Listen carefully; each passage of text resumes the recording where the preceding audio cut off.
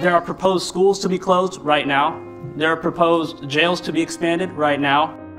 We still have policing in the school. Every time you act it up, you get sent somewhere. They're funding our incarceration, not our education. If it keeps going the pace that it's going, we're not gonna have the proper education. Our schools need real alternatives that support students. This school climate bill of rights is the first step to achieving that. I'm making my way home. I'm making my way.